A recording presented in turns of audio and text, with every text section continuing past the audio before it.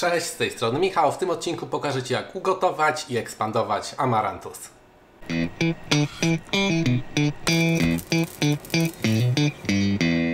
Amarantus to jeszcze niedoceniane i mało popularne ziarno, a szkoda, bo ma swoje zalety. Przede wszystkim bardzo fajne makro, dużo białka, praktycznie 14 gramów i mało cukru, niecałe 2 gramy. Yy, przy okazji to bezglutenowe ziarno i bardzo fajnie smakuje jako dodatek do obiadu albo jako zamiennik owsianki. Można go też przygotować w tej formie, a najlepsze moje odkrycie to amarantus ekspandowany. Jadłem taki amarantus ekspandowany ze sklepu, średnio mi smakował, a przygotowany na świeżo w domu jest po prostu rewelacyjny. 100 razy smaczniejszy niż ze sklepu i 5 razy tańszy także zachęcam Was do spróbowania. Do przygotowania amarantusa będziesz potrzebować garnek z pokrywką, miejsce jak właśnie się już gotuje woda. Amarantus przygotowujemy w proporcji 2,5 szklanki wody na każdą szklankę amarantusa. Tutaj się gotuje już 2,5 szklanki wody.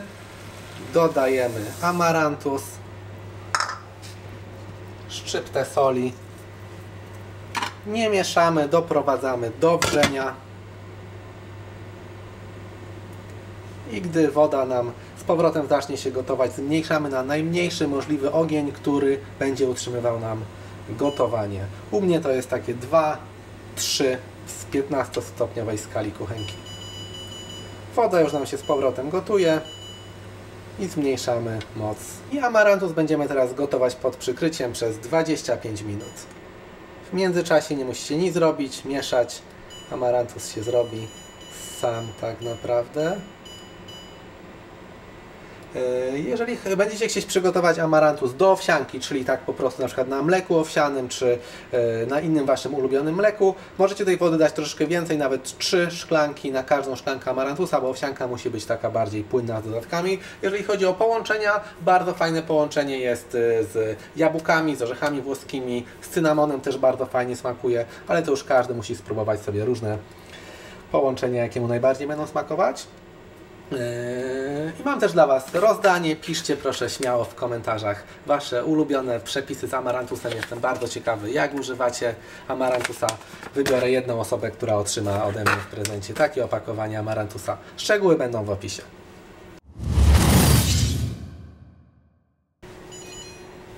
Ok, 25 minut gotowania za nami.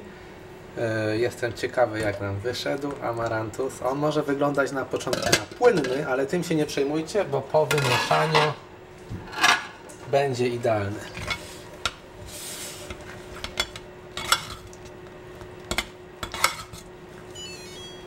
I tak wygląda ugotowany amarantus. Jest fajny, taki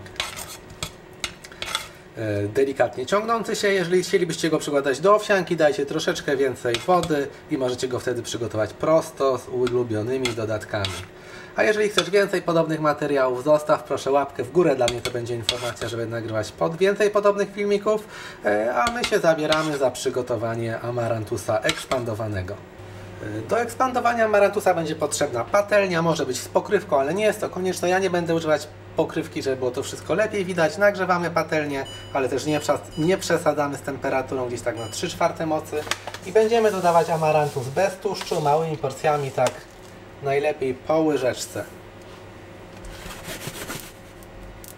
Chwileczkę czekamy, amarantus będzie nam ekspandował. Eee, spokojnie tak zróbmy do 70-80%. Nigdy nie uda nam się z, wyekspandować wszystkich ziarenek, ale to żaden problem, a jeżeli będziemy je próbować to zrobić, to wtedy reszta nam się przypali. Także jak większość będzie ekspandowana, to już będzie wszystko ok. Amarantus wygląda na wyekspandowany. Odsypujemy go sobie na talerzyk z boku i dajemy kolejną porcję ziarenek. Powiem Wam, że nie spodziewałem się, że ten świeżo ekspandowany amarantus jest taki pyszny. Mogę go jeść bez końca.